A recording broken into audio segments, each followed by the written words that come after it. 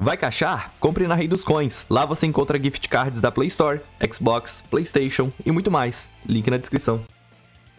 Opa, e aí pessoal, beleza? Godali aqui para mais um vídeo de Grande Cross. E 2022 acabou, estamos em 2023. Consequentemente, temos que se preparar para o longo ano de 2023 com os vários banners, vários sazonais, vários festivais e tudo mais. Então esse vídeo é muito bom justamente por conta das datas, que aqui eu vou basicamente passar as datas aonde vai ter coisa confirmada, como festivais sazonais e outras datas que podem ter alguma coisa escondida nelas, tá? Isso é uma grande vantagem que o Grande Cross oferece para os jogadores. Tipo, ele sempre segue um padrão. Então, assim, 90% das coisas a gente já sabe o que vai acontecer. Então, pelo amor de Deus, se tiver um festival no próximo mês, guarda seus diamantes pro próximo festival, né, cara? Pelo amor de Deus. É a mesma coisa, todo mundo sabe que maio, novembro e dezembro são as melhores datas do Grande Cross. Então, o que, que você vai fazer quando tiver em abril? Exatamente, você vai se preparar para a comemoração de maio. O que, que você vai fazer ali meses antes de novembro? Exatamente, você vai se preparar para novembro e dezembro.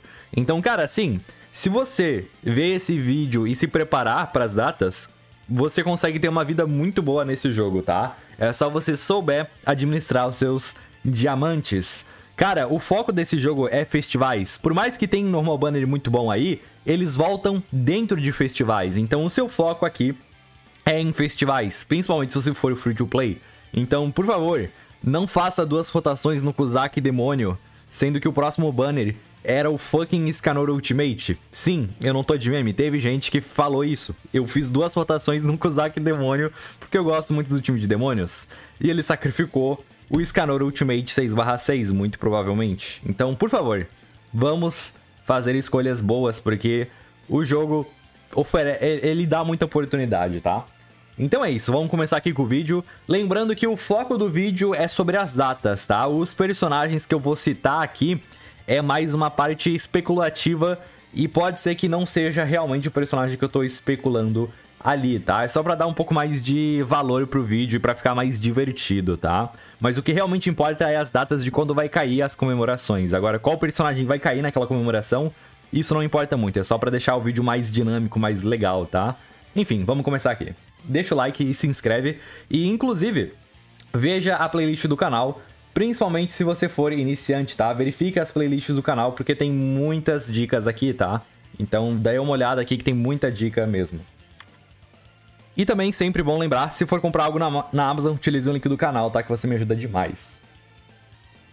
Aqui no vídeo eu vou dar um foco muito grande até a primeira grande comemoração do jogo, que vai ser ali em maio barra junho, tá? Depois disso eu vou fazer um pouco mais chutômetro assim por parte de personagens, mas as datas se mantêm as mesmas, tá? As datas que realmente importam. Bem, janeiro de 2023, a gente teve aqui a Mono Sazonal Azul de início de ano novo, né? Uh, e lembrando, isso aqui é a data do JP, tá? Então, por exemplo, ah, Godelli, você tá botando a freia aqui no dia 26. Quando isso chegar no global?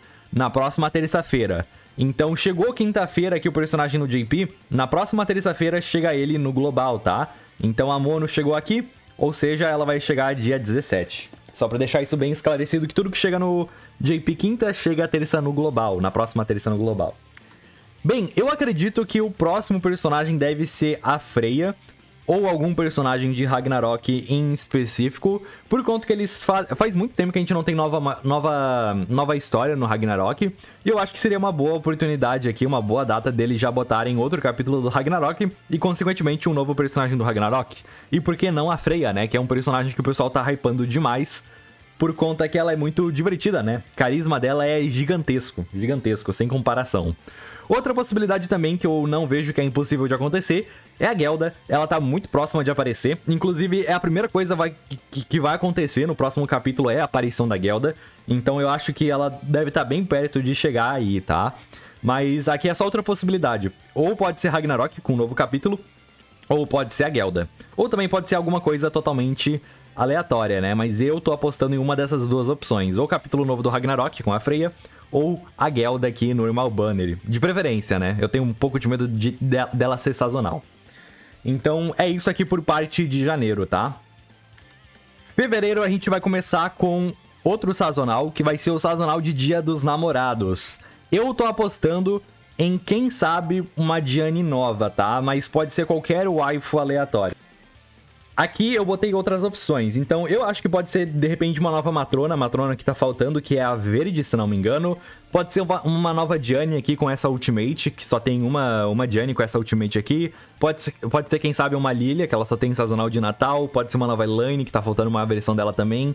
Quem sabe uma nova Elizabeth, né, com uma Ultimate nova. Ou pode ser também, quem sabe, a Merlin com a Ultimate da, da Praia e da Ragnarok, né. Ou também pode ser outra versão. De qualquer maneira vai ser aqui uma personagem do Dia dos Namorados. E, enfim, vamos ver o que a Netmarble vai preparar pra gente nesse ano. Normalmente, os personagens de Dia dos Namorados são interessantes, tá? Uh, às vezes sim, às vezes não. Por exemplo, ano passado foi a Meláscula. Meláscula não era, não era tão interessante assim. Então, tipo, é meio meh, né? Mas a gente já teve também casos como a Deriere Azul, que tem um drop de skins muito interessantes. Ela tem uma mecânica muito interessante nas skins dela. Então é interessante você ficar ligado aqui no sazonal, porque sazonais são raros e vai que o sazonal desse ano oferece algo interessante, né? Então fiquem ligados nisso aqui. Nunca se sabe o que a Netmarble pode preparar aqui nos sazonais de Dia dos Namorados, porque eles têm um histórico muito bom. Eu acho que o único, o único sazonal de Dia dos Namorados, mais ou menos, foi realmente a Meláscula. Até as, a, ali do primeiro ano era interessante também. A, a Elaine, a Gelda. Não, a Gelda não, a Zaneri e a Jena. Tipo, elas, é, elas eram interessantes e ainda continuam interessantes. Então, vale a pena dar uma olhada, tá? Depois disso, dia 23 de fevereiro, teremos o primeiro festival do ano. Ele vai ser o 710 Festival e, na minha humilde opinião, a melhor opção possível pra, pelo primeiro 710 Festival do ano é o ban pós-purgatório com o Nunchaku, tá? Eu acho que ele seria uma excelentíssima opção como primeiro 710 festival do ano, porque ele é o festival mais antigo, assim. Quer ver? V vamos pegar aqui, né? Uh, Melhoras definitivamente não precisa de uma nova versão de festival, pelo amor de Deus, ele já tem dois festivais mega roubados. Jenny também não precisa, a Jenny Festival continua muito relevante, ela, ela vai fazer um ano agora, só que ela lançou, então por favor não, chega de Jenny. Ban Purgatório, eu acho que merece sim, tá? A gente tem poucas versões do Ban e a gente só tem, tipo, duas versões realmente relevantes dele no game inteiro. Fora que o Ban Vermelho continua ele é, ele é legal, só que ele definitivamente envelheceu já, faz bastante tempo, inclusive, né? Ele tá quase fazendo dois anos, se não me engano. Então, meio que já tá dando a hora dele. King, eu também acho que é uma possibilidade, tá? Eu também acho que é uma das possibilidades. Golter também acho, por mais que eu acho que ainda dá pra segurar o Golter por conta que ele tem três versões muito relevantes no jogo atualmente. Tem o Hijack, tem o verde e o vermelho, são muito relevantes. Merlin também acabou de receber, então não. E Elizabeth não. A Light ainda não, não fez nenhum ano. E Scanori definitivamente não. Então as minhas opções principais daqui de festivais é Ban. Eu acho que ele é a melhor opção para esse primeiro 710 festival do ano. Um novo Chad King, um novo Golter, ou quem sabe também seria uma excelentíssima opção é uma unidade dupla do Golter Mandamento Boneco e do Golter original. Cara, eu até fiz ali um uma como é que uma enquete, né? Boa parte do pessoal hyparia eles. Eu também acho que seria muito massa, tá? Então, eu acho que seria muito massa. Se fosse um novo Golter, de preferência que seja esse aqui de 3 mil anos atrás junto com o original. Acho que seria perfeito. Mas eu acho que o ban aqui, pós-purgatório com os Nunchakos, é a escolha perfeita. E de preferência, se for um ban, tomara que ele seja do elemento azul. O elemento azul precisa de personagens muito fortes, e eu acho que o ban cairia como uma luva para esse elemento, visto que é para ele ser muito forte, né?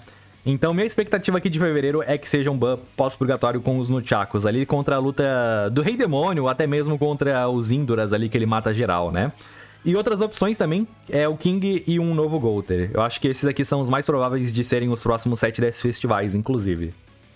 E isso no global vai estar tá chegando dia 28 de fevereiro, muito provavelmente, tá? Inclusive, pode ser que eles mudem as datas, tá? Não é nada impossível, inclusive, eles meio que sincronizarem as versões durante o ano de 2023. Fiquem espertos em relação a isso também, tá? A Netmarble sempre quis encurtar o máximo possível das versões, entre a japonesa e a coreana, pro global. Então, eu não duvido nada que em algum momento de 2023 as versões fiquem sincronizadas. Tipo, tudo ocorra no mesmo dia, tá? Então é isso. Mas a princípio o ban chega dia 23 aqui. e dia 28 no global. Por parte de março, a gente vai ter outro sazonal aqui, que é o sazonal de aniversário, que normalmente sempre tem depois dos festivais. Eu botei a Gelda aqui, pode ser qualquer outro personagem, tipo, literalmente qualquer outro personagem, pode ser outra Elaine aqui de repente, mas eu, eu não duvido nada que a Gelda seja sazonal igual foi com os Eldris Omnus Nebula, tá? Então, eu, ou ela deve ser normal banner, ou ela deve ser sazonal de alguma sazonalidade aleatória, tá? Então, pode ser que ela seja aqui sazonal de de aniversário, igual foi, sei lá, a Elaine, o Eldris Omnus Nebula. Eu não duvido dessa possibilidade.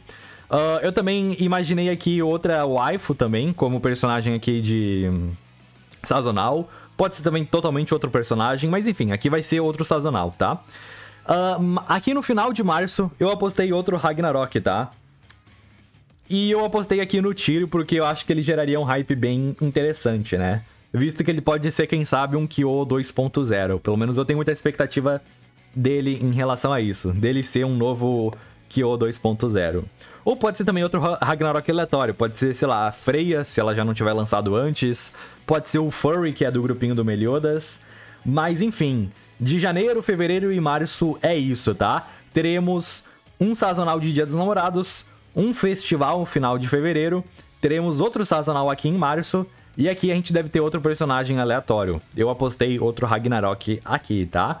Então, desses três meses, o seu maior foco deve ser no festival de fevereiro, de final de fevereiro, no sazonal de Dia dos Namorados e no sazonal aqui do início do março, tá? Que daí vai ser o sazonal de aniversário. Porque esses três personagens vão ser rarinhos de aparecer. Principalmente um adendo aqui bem grande, tá? O festival de fevereiro vai ser bem raro de voltar, tá? Porque a data que ele cai é uma data muito péssima para ele rotacionar de volta. O próximo festival depois disso vai ser um grande festival somente em maio, e ele não vai voltar ali. E em teoria ele voltaria no próximo banner, né? Só que aí que tá, o próximo banner é um Holy War Festival, e 710 Festival não entra em Holy War Festival. Então, esse personagem aqui, de fevereiro, só deve voltar possivelmente na marca de downloads que deve acontecer somente em setembro. Então, cara, esse 710 Festival vai ser um 710 Festival que vai demorar para voltar, tá? Pelo menos foi, a, foi o mesmo caso com a Diane no ano passado, tá? É que esse festival em si de fevereiro, ele caiu numa data muito ruim. Ele caiu numa data muito ruim para poder rotacionar.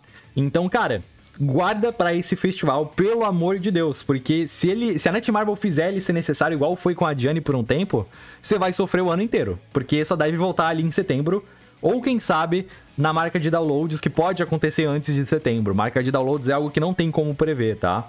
Mas enfim, fique esperto em relação ao festival de fevereiro. Ele é muito importante uh, para você pegar ele. Então é isso, finalizamos tudo que eu tinha para falar aqui de janeiro, fevereiro e março. Fiquem espertos, pelo amor de Deus. Passei todas as dicas aqui.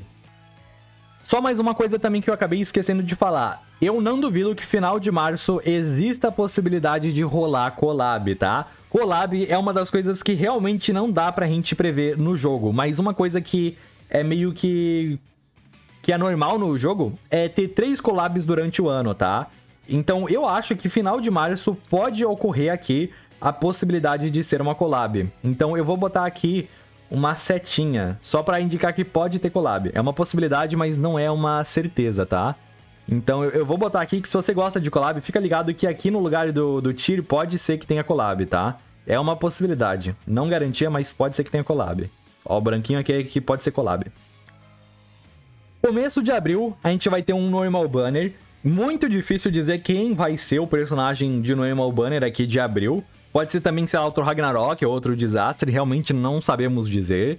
Eu botei o Tarmiel porque foi o que aconteceu ano passado, tá? Então vai de você especular quem pode ser aqui o normal banner de abril. E eu acho que abril talvez seja uma das últimas possibilidades para Gelda realmente aparecer aqui, tipo, nessa, nesse início de ano, tá? Então é isso, aqui no começo de abril devemos ter um banner aleatório aí, de preferência normal, normal banner. Ou collab também, tá? Ano passado a gente teve collab finalzinho de abril. E aqui eu também vou botar a mesma coisa, porque pode ser que eles sigam o mesmo padrão do ano passado, tá? Então, nessas três datas pode ser que ocorra collab. Ali no finalzinho de março, aqui no comecinho de abril e no, e no finalzinho de abril. Eu ficaria com o olho muito aberto nessas é, nessas três datas que eu falei, tá? E, bem, eu acho que uma collab que tem muito a voltar agora é a da Attack on Titan por conta da temporada final, né? Então eu acho que seria uma escolha perfeita deles voltarem aqui com a collab do Attack on Titan. Eu acho que os personagens antigos não vão rodar, mas eu acho que os novos têm muita chance de serem muito bons, né? Eu espero um novo. Um novo. Um novo. Como, como, como, como é que é o nome dele? Eu esqueci totalmente. É, não é Armin. Eu, eu, espero um novo Armin, tá? Um novo Armin, referente à nova temporada do Attack on Titan. E um novo Eren. E um novo Eren, que daí é o Eren Titã, o Titã boladão lá, que eu esqueci o nome também. Então é isso que eu espero aqui da collab do Attack on Titan. Um novo Eren e um novo Armin, tá? Então é isso que eu espero aqui da collab do Attack on Titan. E eu acho que é uma dessas três datas para acontecer uma collab. Final de março, início de abril ou finalzinho de abril, ok? Outras possibilidades de normal banner eu botei aqui como a Gelda. E outras possíveis collabs eu botei como King of, é, o King of Fighters ou quem sabe a collab do ST, tá? Pode ser que seja uma nova collab ou a volta de uma outra collab aleatória como ReZero? Pode ser. A gente realmente não tem como prever, mas eu aposto na collab do Attack on Titan como a principal aposta. Quem sabe King of Fighters e quem sabe também a do do ST, tá? Então fiquem espertos em relação a isso. Se você se importa com collab, é, a partir de março e abril, fique esperto, tá? Pode ser que esteja aparecendo uma collab por aí. Início de maio, eu chuto que a gente vai ter um desastre despertado aleatório. Eu tô apostando na Roxy, mas pode ser também um Shin despertado. Mas enfim, eu, eu tô esperando aqui um, um desastre despertado. Roxy, Shin, Camila, quem sabe? Não sei, tá? Mas é bem dane-se esse primeiro personagem daqui, porque finalzinho de maio Inclusive, pode ser que eles mudem essa data para dia 25, tá? Normalmente sempre é no final do mês, mas se a gente seguir o ritmo, vai cair aqui no dia 18. É... Teremos o primeiro grande festival do ano, que é uma das grandes comemorações do jogo. E o que isso significa, Godelli? Sim, que você deve salvar os seus diamantes por essa comemoração, porque deve vir um personagem muito quebrado aqui. Então, tá passada a dica, tá? Maio teremos um personagem extremamente quebrado muito provavelmente, tá? Então fica ligado, pelo amor de Deus. E provavelmente maio teremos o melhor banner de todo o jogo. Só pra vocês terem uma pequena noção, personagens que eu tô esperando que, que vão voltar aí nesse banner... Scanor Ultimate, Meliodas Purgatório, Meliodas Dark, que é o traidor, Elizabeth Light e o novo personagem Dark Light. Então, cara, esse banner tem tudo para ser o melhor banner de todo o fucking jogo. Então, pelo amor de Deus, salve seus diamantes para essa comemoração que tem tudo para ser excelente, tá? E lembrando que a do ano passado deu uma, uma mini decepcionada, tá? Mas, de qualquer maneira, ainda assim é uma ótima comemoração para upar a sua conta. Então, por favor, salve diamantes para ela. Possibilidades de festivais que eu vejo, tá? Como é personagem Dark e Light, são poucas opções que eu consigo pensar, tá? Se o Ban não for o festival de fevereiro, eu acho que ele pode ser um candidato a personagem light, por mais que eu não goste nem um pouco da ideia, tá? Eu acho que chega de pecado, cara. Pelo, pelo amor de Deus, grande festival, dá uma diversificada, bota outro personagem, tá ligado? Bota outro personagem. Só que como aqui vai ser a comemoração de 4 anos do jogo, eu acho que não cai bem esse Mael aqui. Eu acho que ele não cai bem como personagem de 4 anos. Eu acho que pro marketing, tá ligado? Eu acho que não cai bem. Mesma coisa do Rei Demônio, eu também acho que ele não cairia tão bem assim como personagem destaque de 4 anos do jogo. Mael, eu vejo que ele cai muito bem como personagem de 4 anos do jogo. E Ban, por mais que eu não goste da ideia de ser outro pecado como grande festival, eu acho que ele cairia muito bem pro marketing, tá? Por mais que eu não goste da ideia, eu admito que ele cairia muito bem pro marketing geral do jogo. Então, na minha opinião, as duas maiores possibilidades de ser o personagem aqui de 4 anos do jogo é Mael Light ou Ban Light, tá? Ban pós-purgatório Light. Tipo, essas são as minhas duas maiores apostas em relação aos personagens aqui de quarto aniversário do Japão, tá? Na minha opinião, seria Mael. Na minha opinião, seria Mael, porque é um personagem que o pessoal tá hypando há muito tempo. Por mais que você não goste do Mael, você tem que admitir que é o personagem mais hypado de todo o jogo. Eu escuto há anos que o pessoal quer Mael, se tem Mael nesse jogo. Enfim, tá? Tem que ser. Eu acho que tinha que ser Mael, tá? O Ban. Qual é, velho? Já tem 7, 10 festival pra botar pecado lá. Tipo, dá uma diversificada nos grandes festivais. Então, eu fico entre esses dois como maiores, maiores possibilidades de serem o personagem de, de quarto aniversário do jogo, tá? E se for Mael, na minha opinião, acho que vai ser muito bom. Se for Ban, eu não vou gostar muito, mas pro marketing do jogo vai ser bom. É, é igual o Melhor dos Purgatório. O Melhor dos Purgatório, eu acho que a maioria do pessoal veterano não gostou de ser outro Melhor das Dark, mas pro marketing do jogo foi muito bom, entrou uma cacetada de gente nova e isso é bom pro jogo, querendo ou não. E diga aí nos comentários, você vê outra possibilidade de festival aqui, de Dark Light? Diga aí nos comentários, quero saber. Mas essas aqui são as principais, tipo, minhas principais visões, assim, de opções atuais. Julho, a gente vai ter também aqui um sazonal de aniversário. Pode ser um personagem de casamento aleatório, uma waifu de casamento aleatório. Botei a Brunilda porque foi o que apareceu ano passado. Aqui ano passado eles deram um gapzinho de uma semana, então acho que eles devem fazer isso de novo, se for o ideal para eles, pra, tipo, melhorar, sei lá, o ritmo deles, sei lá. Uh, aqui eu postei outro Ragnarok aleatório, não importa muito, pra ser sincero. A partir daqui eu não, eu não vou botar muitas possibilidades, porque fica muito improvável de dizer quem vai ser o personagem daquela data, tá? Mas aqui eu aposto então um sazonal aleatório, e aqui provavelmente alguém aleatório, Desastre, Ragnarok, algum personagem normal banner, enfim. Então, abril, maio e junho é isso, tá? Maio é de extrema importância que você salve os seus diamantes, porque deve voltar o Scanner Ultimate, que é o melhor personagem do jogo, e outros personagens muito bons no geral também, tá? Final de março e abril, provavelmente teremos uma collab, então fique esperto se você gosta de colecionar ou se você gosta de collabs. E é isso, tá? Acho que as únicas dicas sobre esses três meses é isso que você tem que realmente ficar ligado. É sobre a possível collab final de março ou até finalzinho de abril. Aqui é a maior comemoração do jogo, que vai ser final de maio. Aqui vai ter um sazonal. E é isso. Tipo, são as três coisas que você tem que prestar atenção. Na collab aqui, de março barra abril. Final da comemoração aqui, de maio. E sazonal aqui, de início de mês. Só isso mesmo, tá? Uh, não, não tem muito segredo. É collab e, e o festival daqui. Em julho teremos sazonalidade de praia. Eu tô apostando em um escanor praiano, tá? eu acho que seria legal um escanor de praia azul, só pra fechar ali a coloração que falta do escanor. E, sei lá, eu, eu, acho que seria legal, porque, tipo, já tem todos os pecados waifus, né? Tipo, já tem todas, to, toda, todas as pecadas. Tem Elizabeth de praia, tem Merlin de praia, tem Diane de praia... Tem Diane de... É, tem Diane de praia. Então bota um pecado agora, bota... Bota o Scanor, tá ligado? Eu acho que o povo vai, vai, gostar. Eu acho que o povo vai gostar do Scanor de praia, tá? Fora que ele tem pouquíssimas versões, então eu não vejo problema de botar um Scanor azul aqui. Por mais que ele com certeza vai ser inferior ao Scanor Ultimate, né? Mas enfim, acho que seria legal aqui o Scanor azul. E final de julho, tere... de, de julho, julho, teremos o Holy War Festival. Então aqui que é muito provável que o Starossa Holy War Festival vai voltar. A Margarete deve voltar aqui, quem sabe o Kozak, quem sabe o Assault Mode, quem sabe os Eldris uh, verde lá.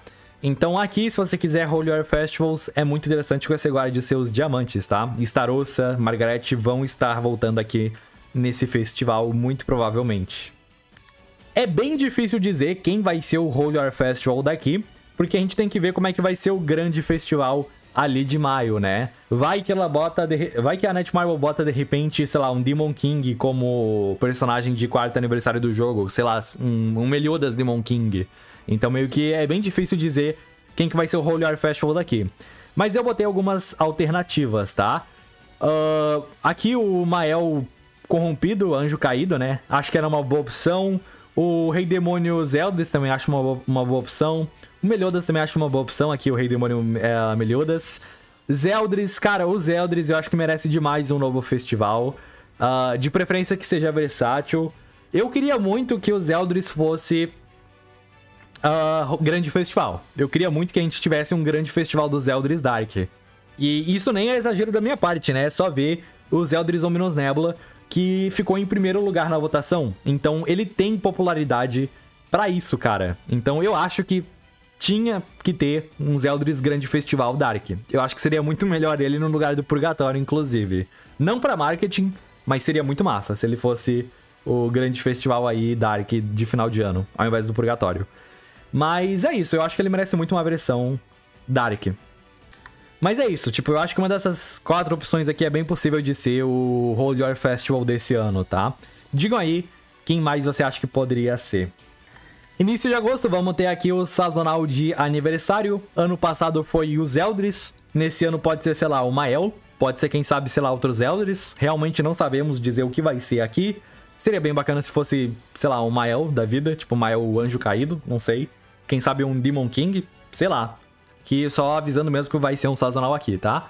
Depois disso eu aposto, quem sabe, em um Ragnarok. Eu botei aqui a Thor, que é a Tonar. Só que versão evoluída dela, que é a Thor. E final de agosto, ano passado, a gente teve a collab do ReZero, se não me engano. Então é bem possível que nesse ano se repita a mesma coisa, tá? Possivelmente final de agosto teremos outra collab aqui, tá? Então eu botei aqui o KOF só para representar, mas pode ser literalmente qualquer outra collab, pode ser, sei lá, pode ser... Eu botei aqui opções aqui embaixo, né? Eu botei aqui a do ST, pode ser quem sabe um Shoku Tensei, Pode ser, quem sabe, do.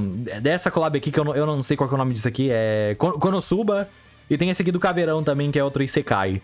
Então, pode ser isso. Pode ser a volta do, do, do Coffee, pode ser a volta do ST, pode ser uma nova collab, pode ser volta de outra collab. Enfim, eu acho que final aqui de agosto para início de setembro a gente deve ter outra collab. Então fiquem ligados nisso também. Uh, setembro, aqui começa a esquentar um pouco as coisas. Eu botei qualquer personagem aleatório aqui. Eu botei o Scanor contra os Indras, acho que era uma versão interessante de botar no jogo. Final de setembro do ano passado a gente teve a marca de downloads, que foi a Merlin. Nesse ano, eu também acho que a marca de downloads deve cair por aqui, perto daqui.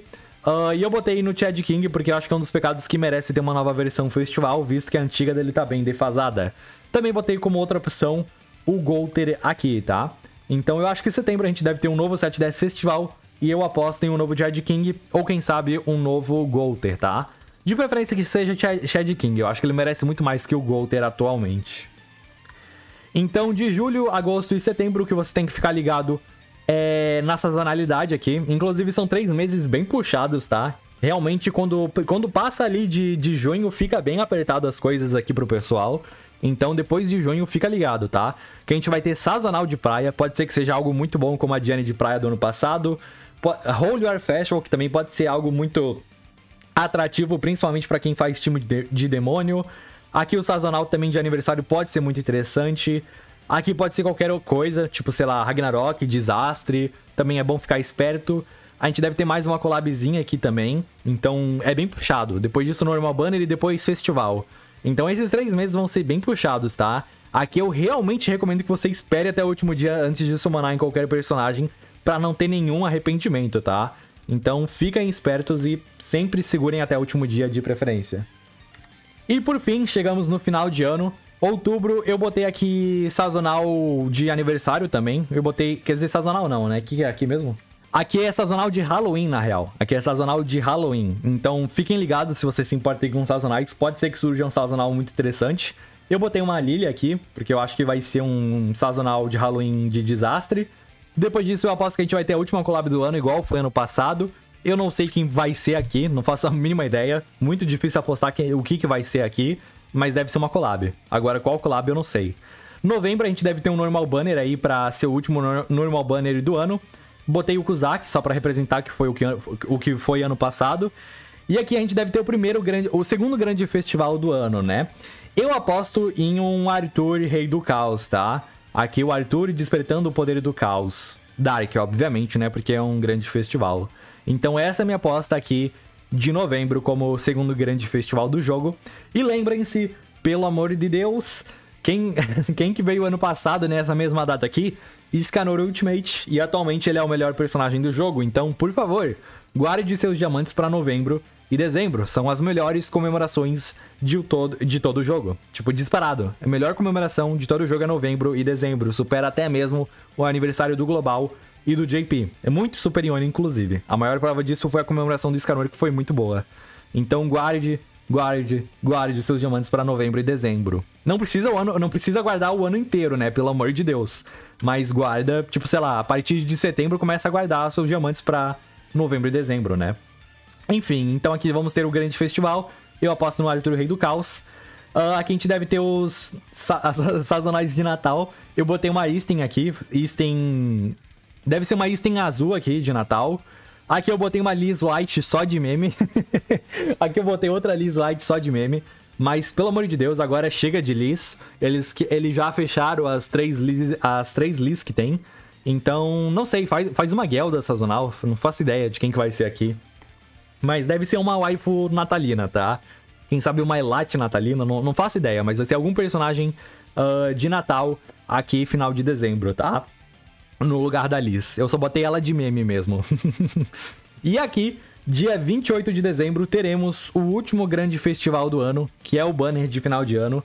E aqui fica uma super mega incógnita, porque eu não faço a mínima ideia de quem vai ser aqui final de ano, tá? Realmente não sei dizer quem pode ser o personagem de final de ano. Quem sabe no novo Meliodas? Realmente muito difícil dizer. Aqui eu botei algumas opções. Meliodas forma final, Meliodas Rei de Leones, do Quatro Cavaleiros do Apocalipse, Meliodas e Zeldris, do filme do Cursed by Light. Eu acho que seria uma excelentíssima opção, inclusive, se fizesse uma unidade dupla dos dois como personagem Dark. Seria hype pra um cacete, inclusive, porque a ultimate dele seria linda pra cacete, porque é aquela ultimate que eles usam no filme, né? Uh, Tristã do filme, quem sabe? Do filme ali novo que lançou. Quem sabe um Percival uh, pra já estrear os Quatro Cavaleiros do Apocalipse. Por mais que eu acho que Quatro Cavaleiros do Apocalipse eu acho que só, re, só realmente vai acontecer uh, em 2024, tá? Tipo, pelo menos pela parte do Percival, eu acho que só em 2024. Talvez o filme do Tristan já seja adaptado em, é, em dezembro, tá? Uh, também acho que uma outra opção muito hypada seria o Meliodas e a Elizabeth do, da luta final deles contra o, o Demon King. Acho que uma unidade dupla dele seria hype pra cacete também. E acho que é isso. Eu acho que as melhores opções como personagem de final de ano, na minha opinião, seria uma unidade dupla. Meliodas e Elizabeth contra o Rei Demônio ali na luta final. Ou Meliodas e Zeldris contra a Divindade Suprema do filme, do filme Cursed by Light. Eu acho que essas duas opções aqui seriam as melhores opções possíveis para ser o banner de final de ano. Porém, como eu disse, é muito difícil dizer o que realmente vai acontecer nesse final de ano aqui. Muito difícil dizer quem vai ser o personagem de final de ano. A gente só vai ter um pouco mais de noção disso uh, quando a gente tiver no final de ano, é claro, né?